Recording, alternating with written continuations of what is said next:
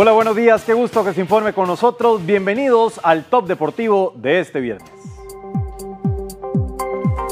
Buenos días, Maynor, Jorge, a todos los televidentes. Tras una hora y 25 minutos dieron sepultura al cuerpo de Diego Armando Maradona.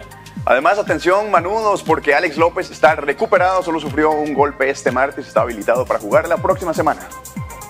Y vamos a arrancar precisamente viendo las imágenes espectaculares de lo que fue el funeral de Diego Armando Maradona. Buenos Aires colapsó. Eh, Pablo, veamos las imágenes en la Casa Rosada en un ambiente de locura porque llegó el momento donde no dejaron ingresar a más aficionados a la vela a darle el último adiós a al Pelusa. Sí, la policía de hecho tuvo que intervenir, luego procedieron a trasladarlo al cementerio privado Jardín de Luz en Buenos Aires, Pablo. Sí, filas kilométricas las que se hicieron. En un principio estaba para que eh, cerraran el funeral a las 4 de la tarde, después la familia lo extendió hasta las 7, pero hasta, hasta ver tanta gente, la demanda que había, eh, decidieron a las 2 de la tarde ya empezar a hacer las puertas y ahí es cuando arrancan los incidentes. Eh, hay mucha controversia de quién tomó esa decisión de empezar a disipar a la gente que estaba esperando pasar a saludar por última vez al astro argentino. Uno de los temas más polémicos que se presentó ayer también fue que a la última pareja de Maradona no la dejaron ingresar a la vela y le dijeron, si usted quiere ingresar, tiene que hacer la fila como cualquier, ciudadano argentino que eh, quisiera ingresar. Y eso evidentemente eh, acaparó también a los medios de comunicación, ella hizo la denuncia formal. El, tema minor ahí eh, con Rocío Oliva, que es esa pareja, es que tiene una demanda millonaria a Diego Armando Maradona, entonces estaba esas dudas por parte de su ex esposa Claudia Villafañe y sus hijas Dalma y Janina, que eran las que terminaban manejando todo lo que tenía que ver con el funeral. Y el recorrido de Maradona por las principales calles de Buenos Aires era impresionante cómo la gente arriesgaba su vida incluso al paso de no, no, no solo, la carroza fúnebre. No solo la carroza, porque es que también estamos olvidando que estamos en una pandemia y según ah, indicaban las, las autoridades sudamericanas hay un riesgo epidemiológico, pero clarísimo. Esas imágenes no pensaríamos que hace unos meses. En 2020 esto es impensado, por ejemplo. Por supuesto. Ver esta cantidad de, personas juntas, y mascarillas. Eh, incluso hay una imagen muy fuerte, un hincha de River, un hincha de Boca eh, abrazándose, que solo Maradona lograba eso. Sí, Maynor, eh, y en un momento muy particular de cuando se va dirigiendo el, carro fúnebre, toma mal una salida que lo conducía al cementerio. Se hace un embotellamiento y la gente está muy cerca del, del carro, le pueden sacar fotos y bueno, eh, fue un momento muy particular en ese recorrido. Sí, mientras me tomo este café que está delicioso, no sé el de ustedes cómo está, porque Para esta mañana yo lo hice, yo lo hice. ¿Vos lo hiciste? sí. Te quedó, te quedó, muy bien. Espero que les haya quedado bien. Vamos a ver lo que muchos consideran lo que fue el último paseo de Diego Armando Maradona, un video que lograron captarlo eh, por ahí del viernes anterior, lo vemos.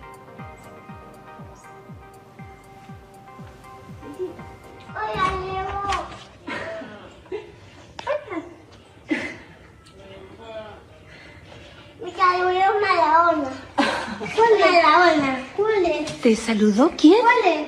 Ella que la ona. Mamá, ¿cuál es? Hola, Diego. Hola, Diego.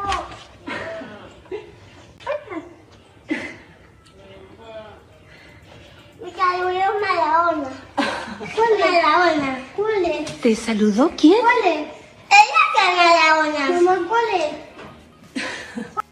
Hoy el niño no tiene la dimensión no, sí, no se imagina. A, quién está saludando. Por eso es tan importante Diego Armando Maradona, porque generación tras generación eh, le va a ir contando quién fue el ídolo argentino. Y no solo a quién está saludando, en qué momento lo ¿En qué momento? Porque de verdad ya los medios internacionales señalan que este video y, este niño tal vez fue como la última persona eh, públicamente que captaron a Diego caminando luego de la cirugía por el residencial eh, donde estaba la casa de, de Pero el impacto, ¿verdad? Me, me saludó Diego. Claro. Me Diego. Y ese, ese niño tiene tres años, por lo, no llega a tres años tal vez, ¿verdad? va, a contar una gran historia después. Sí. Vio, vio la historia en, en, vivo. Al frente de su casa. vio la leyenda pasar al frente de su casa. Vamos a cambiar de tema. Sí porque hay información importante. Vamos a cambiar de tema. Hay muy buenas noticias para Liga Deportiva Alajualense. Se recuperó al 100% el ingeniero Alex López. será de los 11 que podrá disponer Andrés Carevic. Sí, recordemos que abandonó el juego ante San Francisco de Panamá por la CONCACAF, pero fue solamente por precaución, según indicaron los médicos de Alajuelense, y ya se entrena con el primer equipo, estará listo para la próxima semana, Minor. Sí, contra el Real Estelí, que será partido por la CONCACAF, y yo les quiero lanzar una pregunta. Se ha visto opacada la temporada de Alex López con la presencia de Brian Reese, porque para mí están haciendo un trabajo eh, espectacular. Brian con más luces, Alex López un poco más ahí de bajo perfil. Para mí lo potenció, lo termina potenciando Alex López porque le saca ese peso, le saca eh, el tener que llevar eh, la camiseta de Liga Deportiva de la Juelencia a lo más alto, porque al lado de Brian Ruiz él, él puede sentirse cómodo jugando y puede desarrollar todo su fútbol. Aparte, le encontró un puesto que él no manejaba, el Carevic, y ahora lo está haciendo de buena manera como el 5 que le da salida al conjunto manudo. Sí, yo, creo lo mismo. en el torneo pasado, Alex López eh, ahora usa el 11, antes usaba la 10, y eso es un gran peso, eh, no solo por número, sino por la figura que desempeñaba en Liga Deportiva La Juelense. Pero al llegar Brian Ruiz, reflectores, focos hacia él, y le permite soltarse un poco más y, no sentir la presión. Se, han visto, Minor, se han visto los números, se han visto los partidos de Alex López y eso es para destacarle al hondureño que venía con algunas dudas, pero este ha sido un torneo que, lo ha hecho muy bien. Sí, así que toda esta gestión y Alex López, el Alex López va a quedar eh, con un nombre diferente en Liga Deportiva Alajuelense si al 30 de diciembre o antes, porque se ha corrido el calendario, la liga alza la 30. Yo creo que ahí es donde se va a coronar, evidentemente, las tres temporadas que ha tenido Alex López con la Liga Deportiva Alajuelense, el ingeniero, uno lo llaman el ingeniero, otro el arquitecto, eh, porque realmente eh, tiene esa facilidad de armar, de construir, de guiar una estructura. Pero lo ves más relajado, lo ves más relajado. Ah, completamente. Mucho más relajado. incluso, incluso lo veo eh, más relajado cuando anota, celebra. Y eso era un detalle muy particular en temporadas anteriores donde, no, donde no lo hacía. Y lo ves también en, su forma de expresarse fuera de las redes sociales. Ya se ve en el CAR jugando y compartiendo con Brian Ruiz, se lo ve ya comiendo con el equipo y esa sonrisa... Más integrado. Esa sonrisa eh, te, muestra la, capacidad que tiene el, jugador a la hora de accionar en cancha y también en, la, en el tema ya del convivio. Muy bien, son ya las 7 de la mañana con 38 minutos. Hablamos ahora de la selección nacional de Costa Rica porque dice Cristian Bolaños que el año con Gustavo Matosas fue perdido, pero ahora Carlos Watson defiende la gestión de Ronald González al frente de la tricolor. Ha sido sumamente positivo, entiéndame, en cuanto a las conclusiones, porque no hemos jugado todavía la eliminatoria. Vamos hacia allá es un gran momento, hay mucha presión, hay que convivir también con la presión. Más allá de los resultados que, que, amarga, que no nos gusta, estamos tomando muy en cuenta qué han hecho los rivales para, para hacernos ver mal, cuáles son los esfuerzos, porque no todo ha sido negativo. Ahí escuchábamos a don Carlos Watson. Yo honestamente eh, cosas positivas no veo en la selección de Costa Rica, en este proceso en estos juegos, en este año, y completamente de acuerdo con Cristian Bolaños, porque se han perdido realmente dos años en la ruta hacia la Copa. Sí, eh, llevamos dos años con dos entrenadores. Eh, el primero, la verdad que bueno, se terminó aburriendo y se fue. El segundo todavía le falta implantar un sistema, que es lo que queremos ver de Ronald González. Está entendiendo lo que es el proceso, ha ido metiendo algunos jugadores, algunas sorpresas, pero me parece que ya es hora a partir del 2021 que tenga ese 11 titular para encarar todo lo que viene para la selección. Sí, Pablo, y yo no, yo no puedo estar de acuerdo con don Carlos Watson, que es que dice que no todo es, no, todo es malo. No, no, encuentro algo bueno, no puedo estar de acuerdo en que estamos mejor ahora que, por ejemplo, con, con Matosas. Si los resultados siguen siendo deficientes, es decir, con Ronald em, podríamos ir a la eliminatoria y pasarla, pero los fogueos no denotan buen nivel. En el 2020 no ganamos un solo partido. Sí, y, y un detalle, así como se le exige a Ronald González, hay que seguirle también a don Carlos Watson, que es el asesor, es el, que guía a las diferentes selecciones nacionales y me parece que también tiene mucha responsabilidad en este año tan malo que hemos tenido en tema de selección nacional. Vamos a cambiar el tema, porque otro que no está tan firme es este señor que tienen detrás eh, nuestro Jafet Soto Molina. Jafet Soto, porque Herediano, en Herediano aseguran que ese señor Jafet Soto seguirá en el cargo a pesar de lo que pase en las series finales.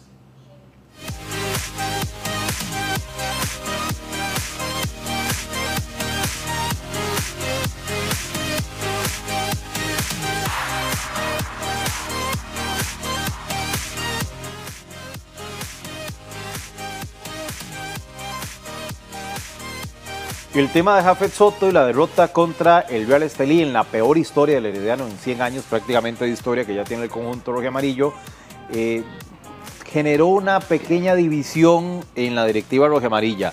Si el Jafet Soto, que tanto le aporta al equipo desde varias aristas, debe seguir o no como técnico del conjunto florense. Minor, pero entonces, ¿a quién se puede llegar a traer? Porque hoy estás muy cerca de meterte en semifinales.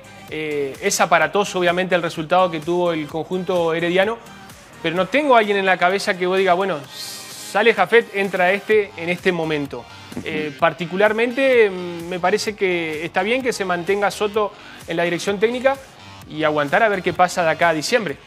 Sí, yo, yo lo que siento es que eh, para este campeonato lo va a terminar, pero evidentemente si Jafet Soto y el Heredano no es campeón nacional, yo creo que para enero eh, no debe seguir al frente del conjunto regional. lo, que, pasa es que en, instancias en las que estamos no es sano hacer, un cambio, un cambio de, no es prudente. Sí, no, no, no. Va porque le tocó y, le toca seguir, pero ¿qué, creen ustedes que va a pasar eh, en, en enero? si no quedara campeón Herediano. Mi perspectiva y lo que yo creo es que no va a seguir Jafet Soto sí, van a buscar otro, van a buscar otro, otro entrenador. Sí, porque eh, es que con la planilla del Herediano, con lo que se ha invertido en el año del centenario, creo que no es prudente y además este 2020 ha desnudado un poquito al Jafet Soto como técnico, porque en esa, en, esa, silla, en ese escritorio donde lo vemos, Es, diferente. Es donde juega el mejor partido. Y es donde, es donde se convierte en el mejor estratega. Pablo, Pablo y, y eh, Pablo, con tu experiencia como futbolista y estando siempre en Camerinos y, vos 39 años en ¿Qué, ¿Qué tan sano es que un equipo de fútbol, una empresa como lo es Herediano, tenga a una figura tan fuerte como es un gerente, sí. arriba la cabeza, y una figura tan fuerte como, técnico, y que sea la misma persona. Sí, no, no, no es sano, no es sano. Porque al fin y al cabo, ¿a quién le, le pedís respuestas? ¿O a quién le pedís este comentario de cómo se está desenvolviendo el equipo en cancha? Pero bueno, muchachos, vamos cambiando de tema. Están listas las semifinales de ascenso, así que se viene bien, Minor. Sí, se vienen partidos muy interesantes a partir de este eh, fin de semana. Eh, se va a enfrentar a un equipo muy duro como es la ADG y eh, Puerto Golfito, que ha sido la revelación, se va a medir contra Cariari. Este conjunto que se reforzó muy bien, de hecho Christopher Meneses, recordemos que está jugando en el equipo de Cariari y se ha convertido en el referente de este plantel. Escasuseña, que es Liga Deportiva Alajuelense, plagado de jóvenes, eso da ilusión para la próxima generación. Bien. Juega muy bien al mando de Mauricio Montero y el equipo de Guanacasteca, la ADG, que señores, mi criterio hace demasiada falta en la primera división. Los partidos serán en el Alejandro Morera Soto, el de Escasuseña y el de contra ADG y el de Golfito Carari será en el Collella Fonseca. Correcto. Fin de semana. Tendencia, Jorge, es viernes. Jorge, ¿qué, nos traes hoy? sorprendenos Va terminando la semana, Jorge. Les, he puesto muy buenas tendencias eh, positivas. Eh, la de hoy no está positiva, esta es nuestra tendencia. El futbolista Jesse Rodríguez, integrante del Paris Saint Germain, no la está viendo buena porque se montó un fiestón que no se imaginan ustedes. Vean ahí el fiestón. ¡Opa! ¡Epa! Eh, insisto, estamos en pandemia. Buena fiesta, ¿verdad? Hay buena música ahí. Y es el, de, es el de las gafas blancas. Sí, sí, sí. Este, lo recordamos en, Real Madrid. ¿Y ella qué pasó? Ella, su, su, no sé quién es, es su novia o su exnovia, no tengo la menor idea. Porque resulta. Lo mandaron a volar. ¿Pero qué hizo? déjenme les, les cuento. No solo hizo un fiestón, sino que al parecer también le fue infiel. Oh. Y entonces ahora sus compañeros del Paris Saint Germain ya no lo quieren en el equipo y ella no lo quiere en su vida. Sí. se va a quedar sin nada, al parecer, el parisino. Se contagió de Neymar, su compañero de equipo. ¿Cómo está ese PSG, ese PSG? ¿Cómo está, eh? Icardi, ¿Eh? eh Wanda, sí. eh, Neymar, Neymar, Di María, Di María, el Fideo y ahí estaba Paredes. ¿Sí? Está, con mucho sello latino. Está completito, no falta nadie. Y esa fiesta, esa fiesta fue. Siento un poco de pena yo. Fue en París, ¿verdad? Sí, en París parece con amigos, familiares y bueno. Hay que ver qué pasa. Y otros que no son tan amigos, obviamente. Ahí seguimos viéndolas. Sí, dicen, dicen los, sus compañeros que, que, esto denota una gran falta de compromiso. Su, su ex novia, supongo, ahora, se llama Aura Ruiz y ya denunció que, primero denunció la fiestota y que le fue infiel y que no se siguieron protocolos sanitarios, que ya lo vimos. Lo aburrido de esas fiestas, ¿saben qué, muchachos? Que no te invitaron. Que no nos invitaron. Señores, que tengan un excelente fin de semana. Gracias, Minor, igual. Nos vamos a ir a la pausa y venimos con más información acá en Noticias.